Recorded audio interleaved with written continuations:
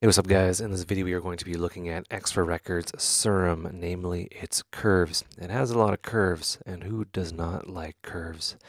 And they are everywhere in this modulation matrix, and they will essentially go on forever. What do they do? I'll kind of explain. And it comes from like, you know, looking at the same piece of software every day for five years, and you're just like, hey, what's that do?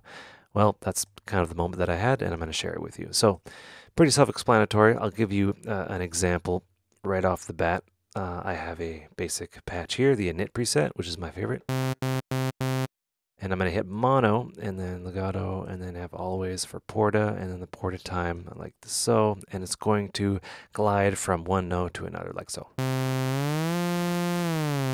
and it glides in a very linear way. Well, we can adjust the curve of that so it'll kind of uh, slowly snap towards where it is and then slowly settle to the end note like so. Or the opposite, it will kind of slowly stay at the note it was and then snap up to the note that it is. Right, we're adjusting the, uh, the, the, the curve of that and how it reacts. So that's all well and good. How does this apply to the modulation matrix? Well, you can take a source, say a LFO or an envelope, and change the curve of how it affects the uh, modulation destination. So I'll, I'll give you an example and I'll give you an example visually what it does for those that are curious and they don't want to wait to hear how it works is it will effectively take an LFO like this and depending on what you do will make it look like that or like that even though it's like this. It'll make it change it from linear to curved hence the curves.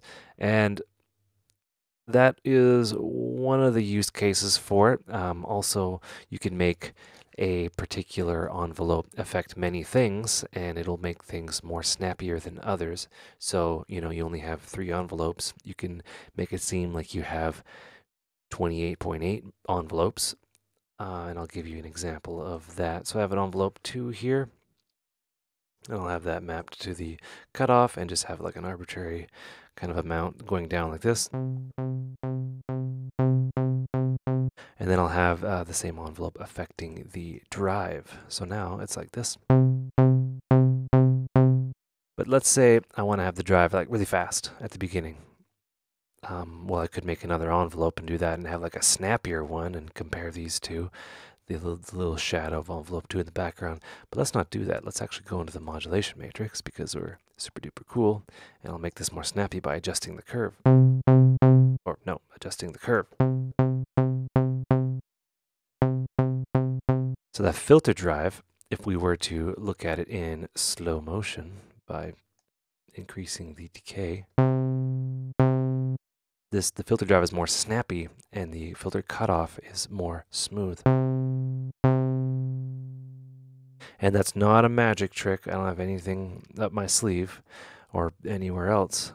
This is the same envelope, but we have different kind of timings and how it's affected. And this is with curves, and it's exceptionally useful um, once you start using it. Um, you know, you can have multiple LFOs. You can change the shape and linearity of LFOs, kind of make them more like like so, or what have you. You can have smoother ramps and things like that. But yeah, that's just a, another kind of, I guess, sound design tip.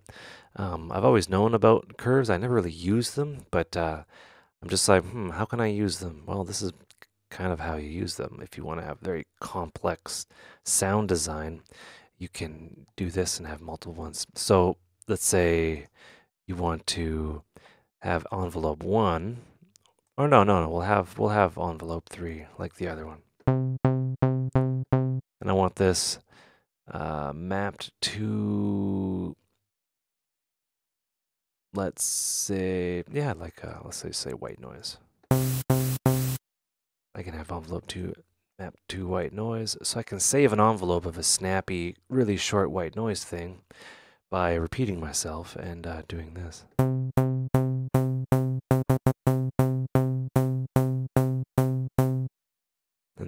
Anyway, you know, Serum is just one of those plugins that keeps on giving. It's like Christmas.